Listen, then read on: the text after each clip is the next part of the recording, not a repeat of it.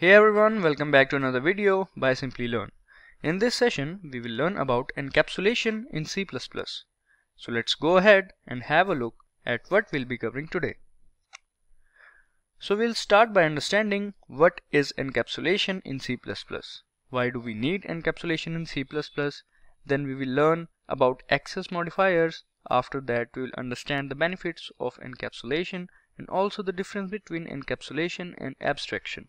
So let's start with encapsulation in C++. Encapsulation is a very important concept of object-oriented programming.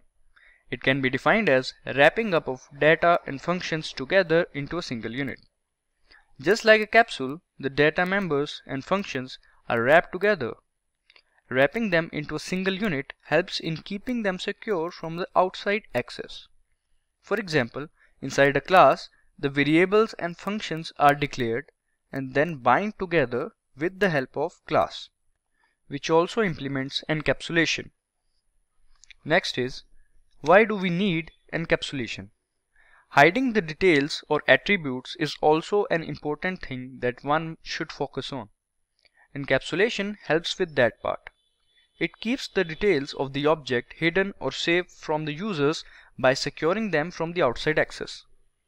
There are many implementation details that the users are not supposed to see.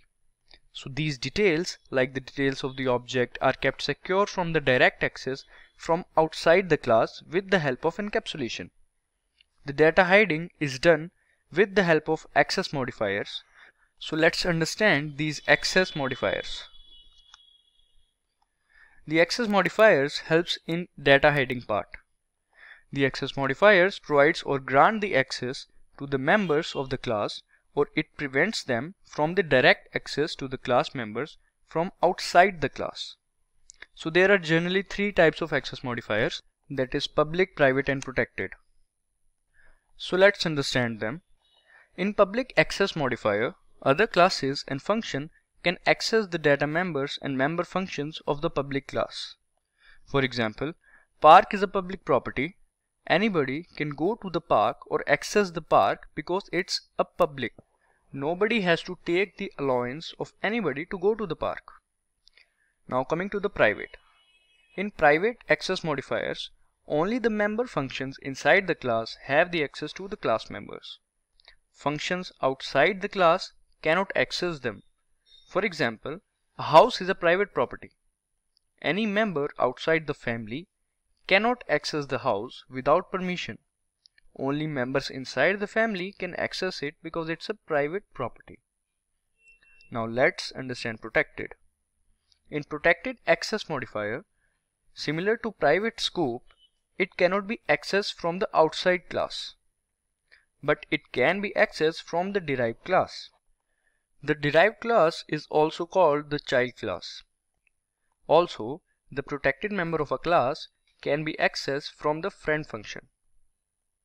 So as we have understood about these access modifiers, now let's understand the benefits of encapsulation. Encapsulation helps in reducing the complexity of code by hiding the irrelevant data or information and by doing so it reduces the complexity.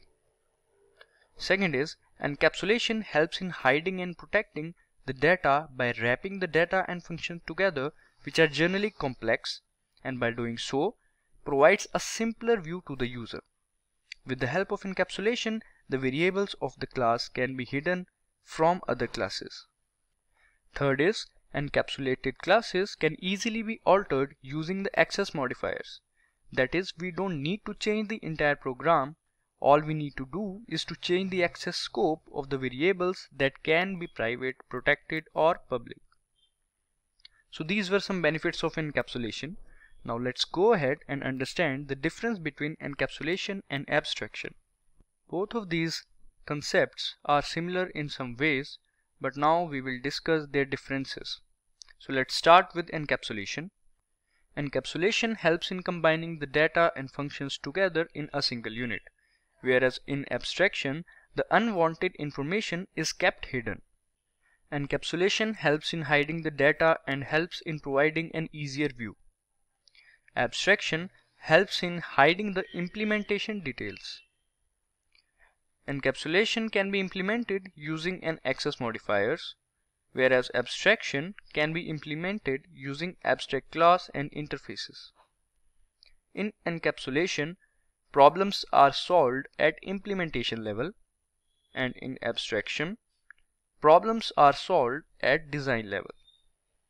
So these were some differences between encapsulation and abstraction. Let's go ahead and do some practical examples on this topic. If getting your learning started is half the battle, what if you could do that for free? Visit SkillUp by Simplilearn. Click on the link in the description to know more. So this is our code editor that is Visual Studio Code and now let's create a new file and let's name it encapsulation.cpp so first of all we know in encapsulation we can make variables inaccessible by making their scope as private so in this example we will do that we'll make the salary of an employee as private and then using the setter and getter methods we will set the value of salary and return it as well the setter getter methods are generally used in these kind of situations where the variable we want to access is private. So now let's start. First of all we will create the main function. But before that let's add the header files.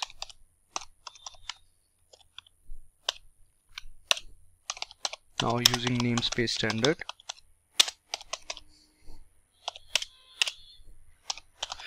Now we'll start with the main function. And inside the main function first of all we'll create an object by declaring the class name. Let's say the class name is company and the object name is obj now using this object we will call the set function or we can say the setter function. We will name it as set salary let's say and we will pass two values.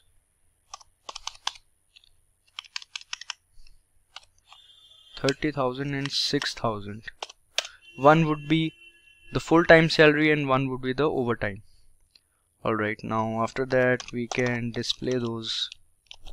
And we can write total salary and and uh,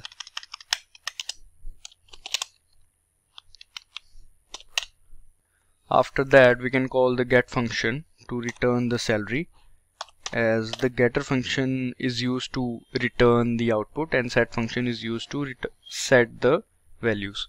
So we'll write obj.get salary. So the salary we will display over here and after that we can write the return 0 now the main function is done. Now let's start with company class company class company. And inside this class first of all inside the private scope this is the private scope and this is the variable salary. Now this variable salary is private so no member outside the class can access it. But using the setter and getter methods we will access this variable and we will set the salary and then we will return it alright. Now public scope inside the public scope we will write the setter methods. Void set salary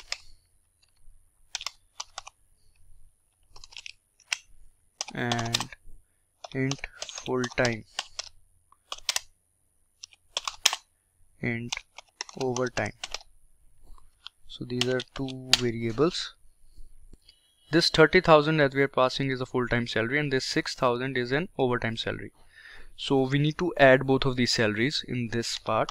So we'll write salary equals full-time plus overtime. So this would be the total salary. And let's just do this. Alright so this set salary function is done. This is the setter function. Now we have to return using the getter function. So we'll write the data type int. Get salary. Now inside this function we will simply return the variable salary. As we can see. And once the class we'll use this semicolon alright pretty much everything is done. And now we can save it. And let's try.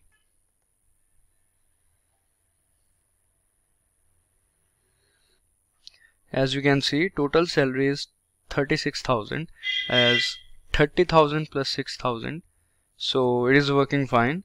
So this is how we can access these private variables using these setter and getter methods. Now let's do another example this example of encapsulation will also be pretty much the same.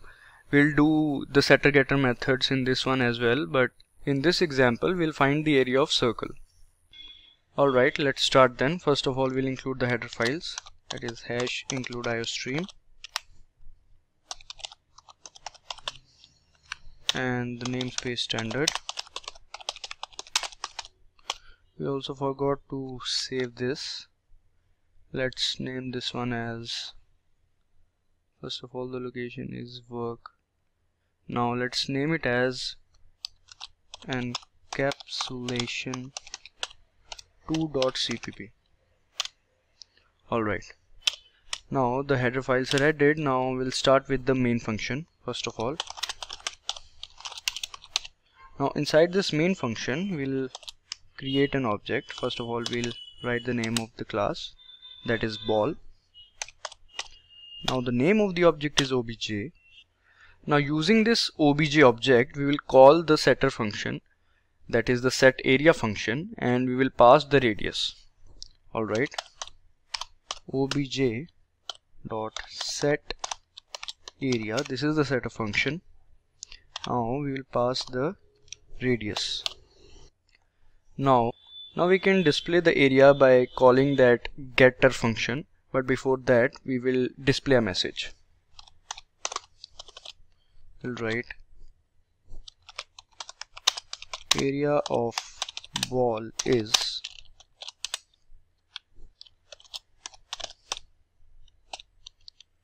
alright now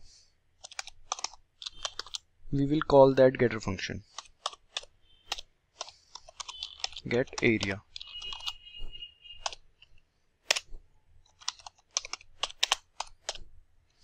Alright the main function is done. Now we need to create the class.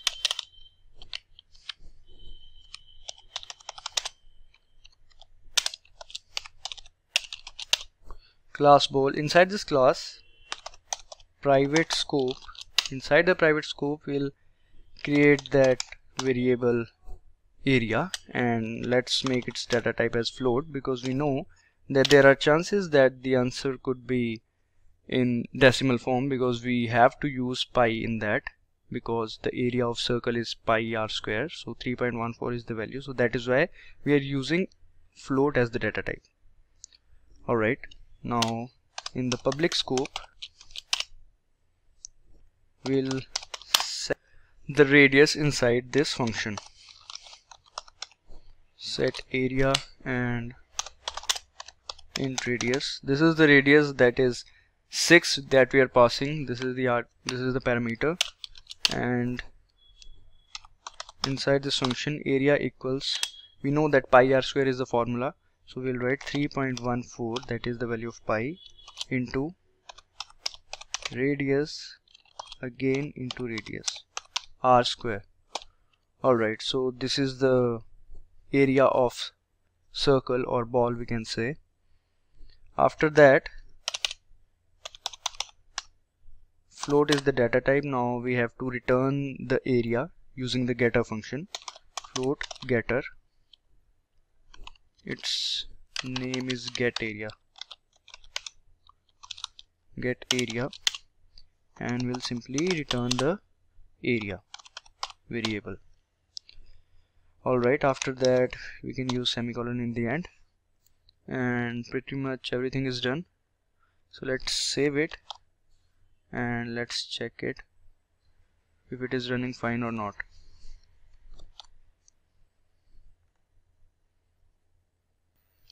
As you can see area of ball is 113.04 so if we multiply 3.14 that is the value of pi with 36 that is 6 into 6 it will give you 113.04 so this is the right answer and this is how we can find the area of ball or something like that.